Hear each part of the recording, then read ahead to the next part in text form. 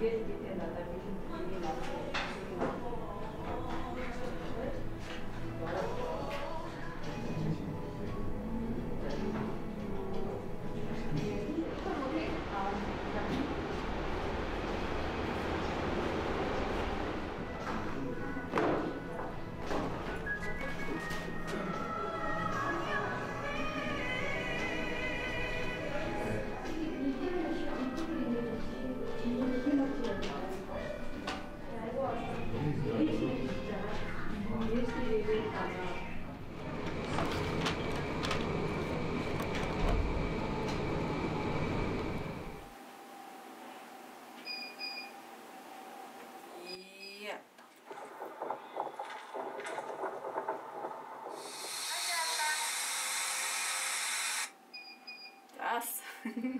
За Ecolife э, Mongolia брэнд маань үүсгэн байгуулагдаад дөрөв дэх жилдээ явж байна. За дэлгүүрийн үйл ажиллагаагаар бид нэр 4 сарын үйл ажиллагаа эрхэлж байна. Ковидын үед одоо нэгдсэн дэлгүүр маань байгаа. За дэлгүүрээ бид нэр болохоор энэ хүн цаг хэцүү үед одоо хилгээл хаагдсан параметралын үн, барилгын материалын үн одоо өссөн байна гэж гадуур яригадаад байгаа. Энд бид нар хойшоо суугаагүйгээр залуу үеийнхнийгээ болон бусад байгууллагыг уриалан одоо хоёр дахь түүхийд одоо хог хаягдлыг ашиглан дэлгүүрээ одоо босгосон байгаа. Өнөөдрийн байдлаар бол э, Монгол улстай анхных нь гэж бид нэр хараад байгаа. Бусад одоо концепцтэй дэлгүүрүүд байдаг. Одоо эко бараа бүтээгдэхүүн зард борлуулдаг дэлгүүрүүд байдаг. Гэхдээ орчин нөхцөл бол бид нэр бол хоёр дахь түүхийд ашигласан гэдгээр бол давуу талтай байгаа. За тэгээд дэлгүүрийн хажуугаар бид нэр бол сургалтын үйл ажиллагааг явуулж байна. Ялангуяа бид нэр хүүхдүүд рүү чиглэсэн үйл ажиллагааг маш ихээр явуулж байна. Энийгээ бид нэр зорилго зорилт болгоод хэд хэдэн сургууль цэцэрлэгүүдтэй бас хамтраад явж байгаа. За өөрсдийнхөө орчин нөхцөлд бас одоо үйл ажиллагаагаа явуулж байна.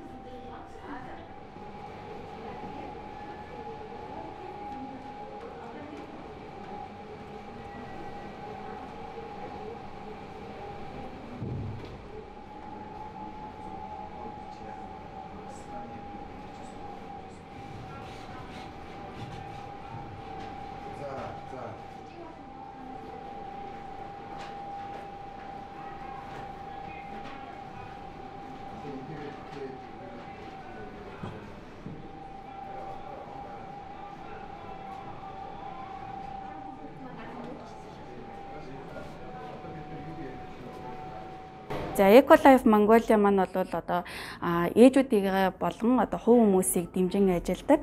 Яагаад вэ гэхээр одоо ялангуяа хил гайл хаагдсан байгаа үед бол бид нэр илүү одоо өөрсдийнхөө ур чадвараа гаргаж бие биенийгээ дэмжих хэвээр цаг ирсэн гэж бол харж байна. За жишээлбэл та нар харах юм бол энэ ингээд туул голын ирэг дээр хаягдмал модоор хүүхдүүдтэй тоглоом хийж өгөөд өнөөдөр бизнес нь болчихсон. За хэрвээ одоо хоёр хүүхэдтэй айлах юм бол хооронд нь ингэж уралдуулж тоглож байгаа. Тэгээд энэ одоо тоглоом маань насан туршдаа үе үе дамжиж дүүнэр нь хүртэл ингэж тоглохоор айгүй хөөрхөн тоглоом байна. За мөн бид нэр одоо хог аядлыг бууруулах зорилготой хүүхдийн сокны шилийг ашиглан бүтээгдэхүүн гаргадаг мөн одоо яг э, энд байгаа сонингийн цаас нь болохоор одоо бид нэр гаднаас худалдан авалт хийлгүүгээр сонингоо хаях гэж байгаа сонин нь одоо цугларсан ч юм уу ийм хүмүүсийг одоо манай дэлгүүр дээр авчран ингээд өгөөрэй гэд пост оруулцдаг пэйж дээр. Тэнгууд ингээд ялангуяа өвөөнөр айгүй их авчирдаг сонингийн цаасыг.